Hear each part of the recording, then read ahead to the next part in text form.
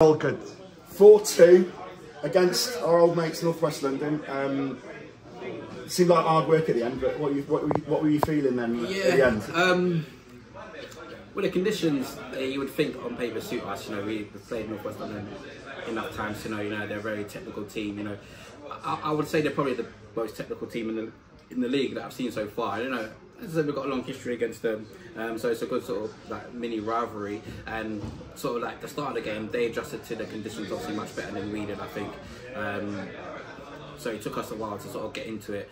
But we always feel that there are parts of the game that we can get back into it against Northwest.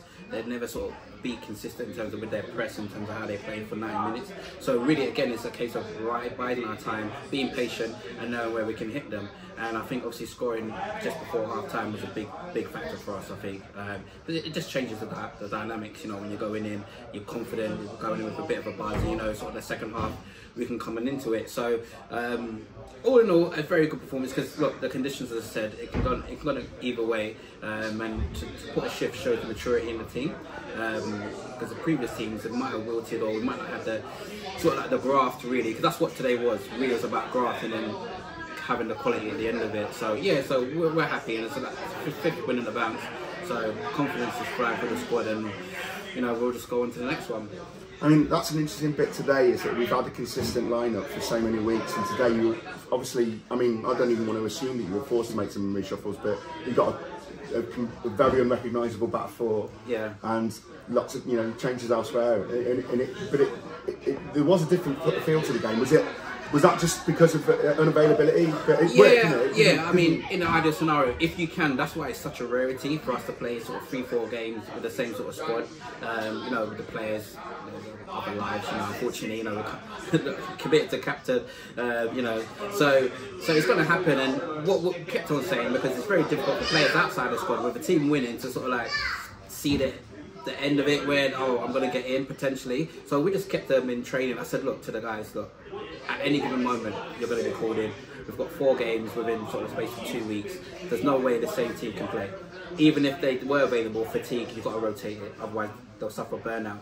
And as and when we had sort of three dropouts over the course of the last couple of days, you know, and the players have stepped in, um, you know, and that shows the attitude of the squad and the camaraderie as well. Um, you know, that the players can come in and not feel any type of way. Just want to come in, impress, and try and keep their spot. Like for instance, Lewis and Sully have last couple of games.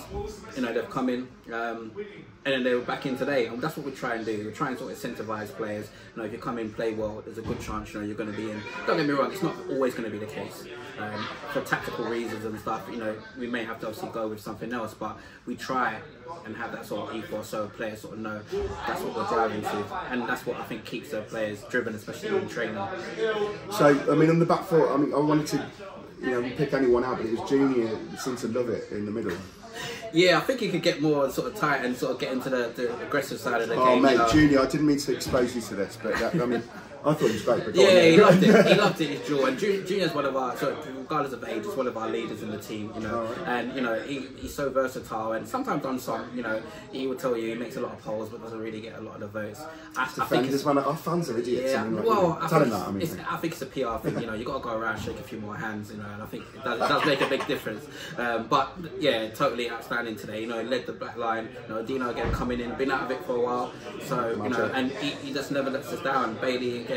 Yeah. Just drop into right back where he's been so doing so well. You know, and that's the versatility of the squad. You know, when we train, we try and move players into different positions for this sort of scenario. Mm. And in terms of when we pick the squad as well, if you know you, you're versatile, you can play numerous positions. You've got a better chance of making it because it just gives us more options off the bench. yeah.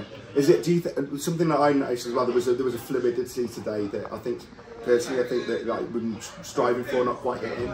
The first goal, the build up Oh. through Taylan, like and Fred, like lovely, lovely, sweet little builder. Yeah. With a few moments like that though, is that? Uh, do you feel like that's been coming, or Yeah. do you think it's there's something about playing?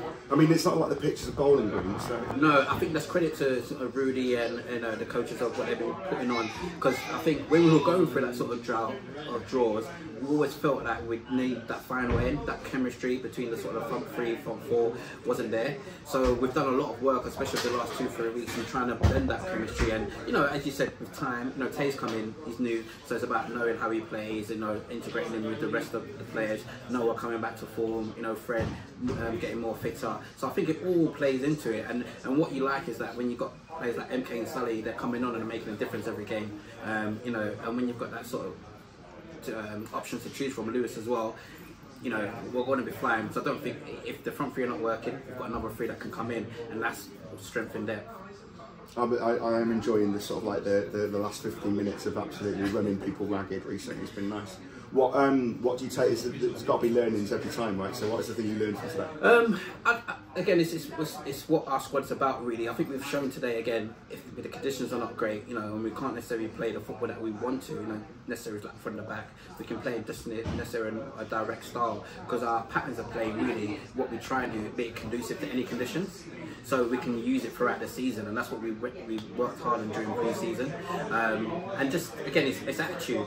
At three two, it could have easily gone the other way. You know what I mean? We can see another goal, three three. You know, heads gone. I had some fans really sort of like getting very stressed. Um, yeah, because you know they're, they're a good team, so all it takes is the deflections the right way. You know, yeah, it's three three, but again, kept our heads, kept our shape, uh, and then we punished them with the fourth, and that is well deserved victory really across the you know, across the game. And, and, like I said, I think they deserved it, and, and it was good to see them at the back really um, at, the, at, the, end of the game. You know, with the huddle, it's very important. You know, everyone feels part of it, regardless of what part they play today. You know, and we go into the next one, mm.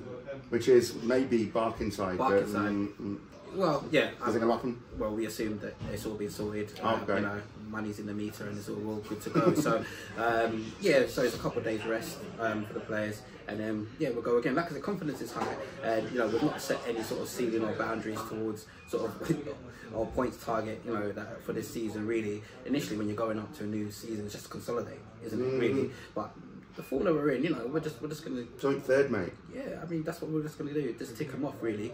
Um, you know, Barkingside, Wormley, we've got a few good big games to come as well. Harlow Town, so. Mm. Um, the confidence I said that the players are in, you know, we're, we're, willing to take anyone on, you know, um, and you know, we'll see where we are. Lovely stuff. Thank you. Thanks a lot. Congratulations.